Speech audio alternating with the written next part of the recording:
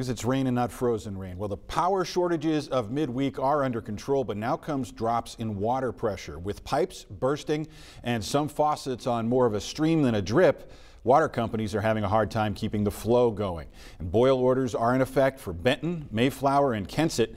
People are asked to boil water and let it cool before drinking it. You don't have to do it for washing and bathing, but you're asked to avoid any unnecessary water use until the pressure comes back up to normal. Several water companies have said they are not currently under boil orders, but they are urging customers to conserve water as much as possible. That includes those uh, cities you see there on that list and Central Arkansas Water, Hot Springs, Pine Bluff. Hot Springs, in fact, telling us tonight they are at a critical point with their water level and service disruption may be needed. So the big question is why are cities asking Arkansans to conserve now and how exactly can we do it? THV 11's Mercedes Mackay breaks down what you can do to help the strained water system. From Yell County. We do have a critical water situation here. To Pulaski County. The system is is is taxed right now. It's it's it's under pressure. City leaders and water companies across the state pleading for Arkansans to do one thing. Conserve, conserve, conserve.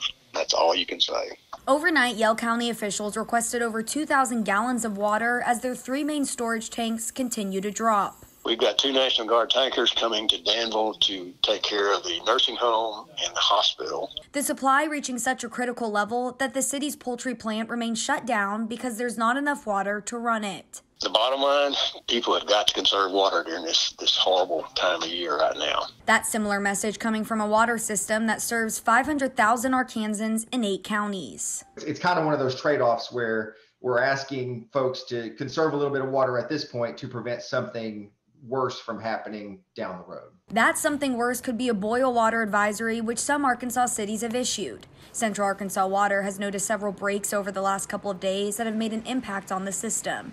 And while the ground begins to warm and pipes start to thaw, that number will grow. What we're seeing is just a multitude of smaller breaks that, again, are either under the snow or maybe in the basements of some of these buildings where that simply haven't been identified yet. The biggest concern for water supply is here in the downtown Little Rock area, which is why crews are out trying to spot leaks and why they advise you to check on any offices or buildings that haven't been used this week. We certainly recommend that you go check out that building to make sure that there isn't a broken pipe in there that's been flowing water um, for a little while. Some other recommendations if you have a pipe burst in your house, shut off the meter and hold off on things that can wait, like running the washing machine or dishwasher. We really need uh, you know the public to help us kind of get through this this stressful phase here over the next two or three days as as the system is is going to be taxed. In Little Rock, Mercedes Mackay, THV 11 News.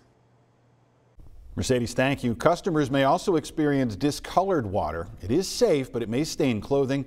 Turn on faucets and flush the toilet a couple of times to try and clear it all out.